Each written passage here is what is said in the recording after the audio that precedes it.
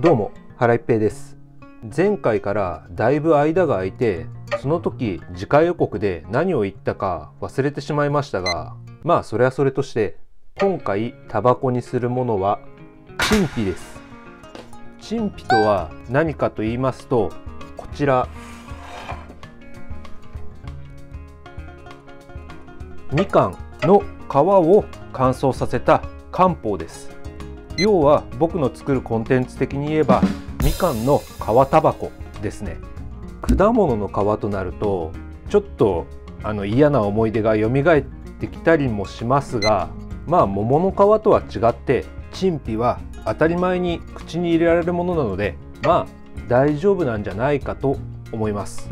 というわけで今回はただ乾燥させるというだけでなくしっかり陳皮として乾燥させていきたいと思いますのでいつものご託は後回しにして早速下準備に取り掛かろうと思います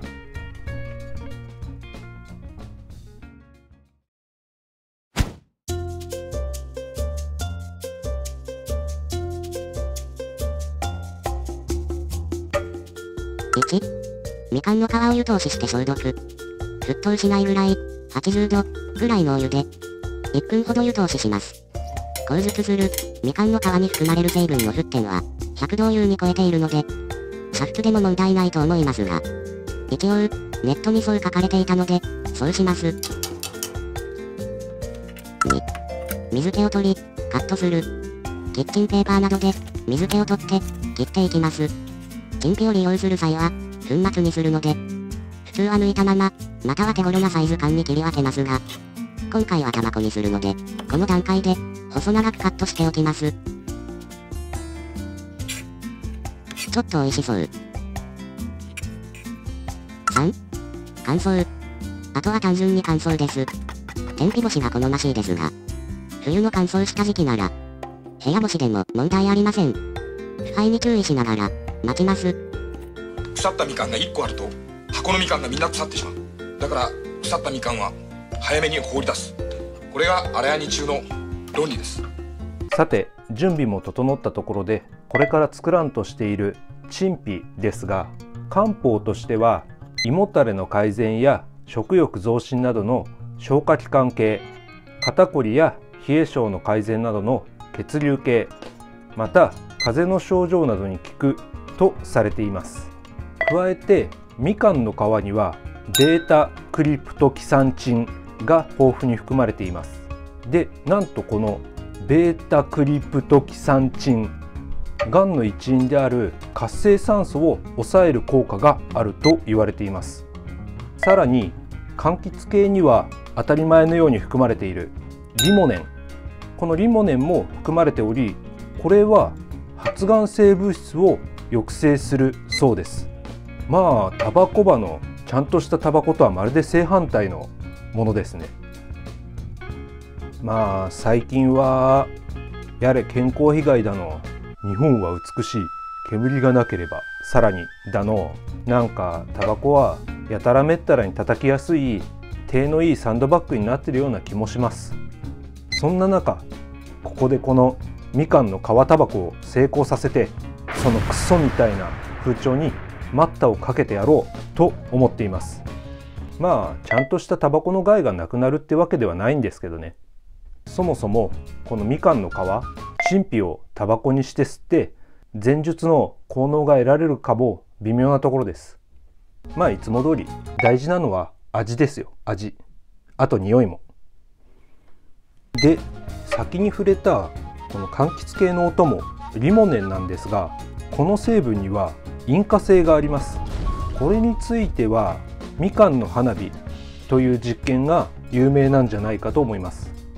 となるとそんなものを口に加えて火をつけるなんて危険なんじゃないかと思われますがまあダメだったらそこで動画は終わりです。この動画はリモネンの引火性の危険性を啓発するものになります。飼育バーの残り時間でオチを察するというのはお控えください。ということでこちら乾燥させていきたいと思います。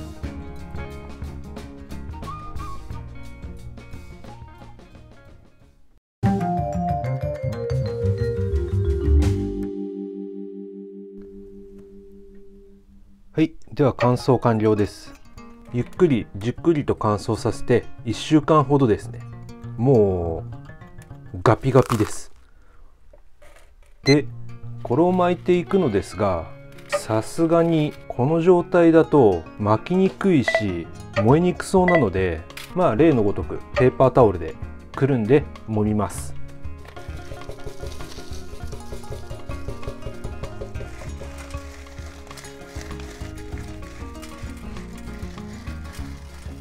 まあ揉んだところで食感はそこまで変化ないですけど細かくなったので燃えやすくなったとは思います。それで加湿はしなくていいかな。本来の陳皮の利用方法には加湿というのはないので今回は加湿はしません。で現状の匂いですがまあ言うまでもなくみかんの匂いですね。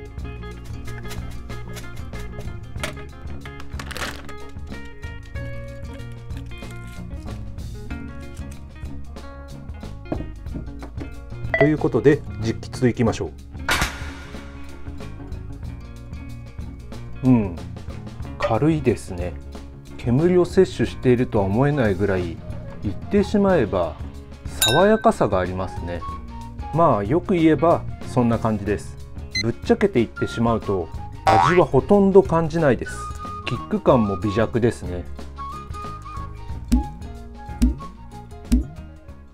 うんやばい。他に言うことがない。あでもしばらく吸ってるとフィルターに味が溜まってきてかみかんっぽい風味は感じるようになりますね。まあそれもごくわずかなんですけど。そのみかんの果物？果食部ですか？そこはあの柑橘系の酸味の方が強いと思うんですがこのタバコにすると甘みの方が強く感じますね。まあそれもそのごくわずかの中での比較ですが。うん鼻から抜いても同様甘みの方がまあ際立ってるかなといった感じです。まあその口の中で味わうよりかは風味というかその匂い感が分かって、まあ、まろやかな柑橘感があります。何ですかね言うなればものすごく薄い味のオレンジクリーム的な風味です。うん。まずくはないですね。特別うまいわけでもないですが。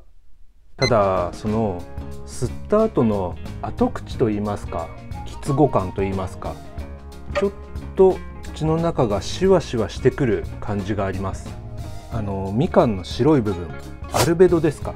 あれを口にした時とまあ同じ感覚ですね。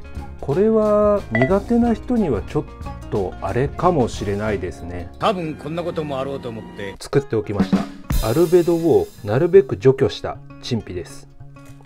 矢継ぎ早に吸ってみようと思います。うん。甘みは一緒ですね。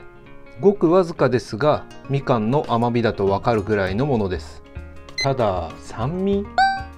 いやこれは酸味なのかな？なんというか酸味を持った刺激感が強くなっています。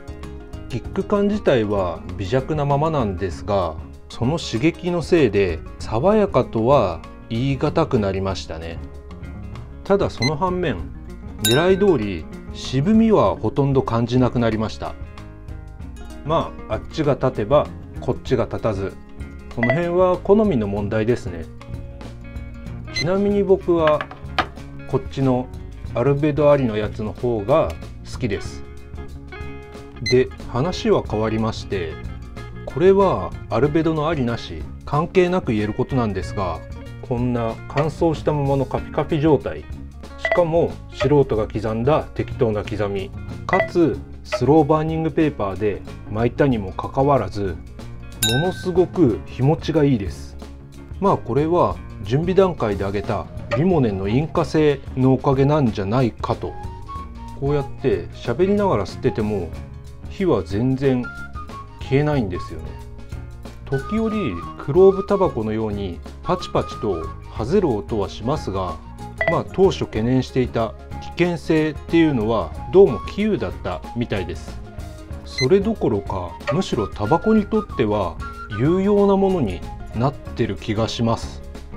例えばですけどリモネンを燃焼促進剤として添加したタバコ葉や巻き紙があってもいいんじゃないかなとは思います。まあ完全に自然由来の成分ですしこの陳皮みかんの皮タバコを吸った感じ味にもそこまで影響はなさそうなので大いにありなんじゃないかなとタバコメーカーの皆さんご一行のほどよろしくお願いします。やっぱりタバコを吸うからには燃えている煙というものが大事だと思うんで日本の美しさを語る上で煙の有無はそんな関係ないんじゃないかなと思います。ということでごちそうさまでした。以上こちら陳皮みかんの皮タバコでした。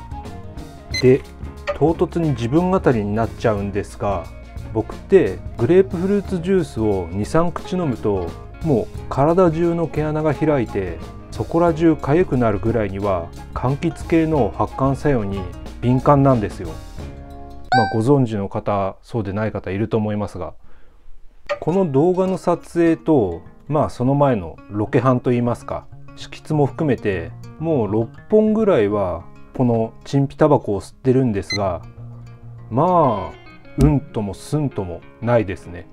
少しぐらい体がポカポカしてくるみたいなのを期待したんですけど何も起きませんでしたまあでもこのシリーズをやる上で健康面への影響はあまり気にしてないのでそれほど深く考えることではないと思いますがちょっとこのチンピタバコは一応漢方でもあるということで少し継続して吸っていきたいと思いますその際何かありましたらご報という形で動画にしたいなと思っています。まあしないかもしれないです。ということで今回はこの辺にしたいと思います。それで次回予告なんですがすいません。もうしません。その辺はもうこだわらずにやっていこうかなと。まあそうすればコメントでいただけるリクエストにもお答えしやすいんじゃないかなとついでと言っちゃなんですが動画末のランキングもやめます。動画末にくっつけるのをやめてこれからはショート動画として不定期的にアップしようと思っていますので是非合わせてご覧いただければありがたいです、えー、この動画が面白かったと思っていただけましたら是非高評価チャンネル登録のほどよろしくお願いします、えー、ご視聴ありがとうございました。次回もよろしくお願いします。